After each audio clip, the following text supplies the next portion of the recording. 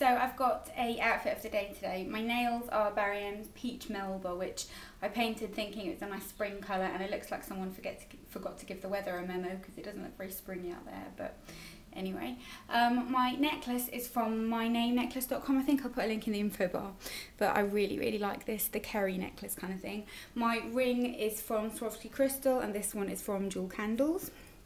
Then for my outfit, this cardigan is from Romwe. It's just this kind of loose, um, fine knit white cardigan. My dress is from American Eagle and it's just this kind of stripy fitted dress. It's got a kind of crisscross back but um, you won't be able to see that obviously.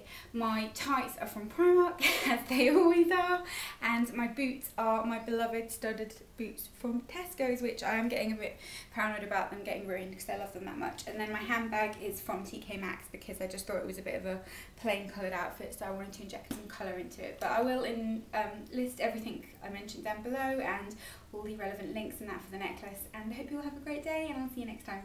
Bye.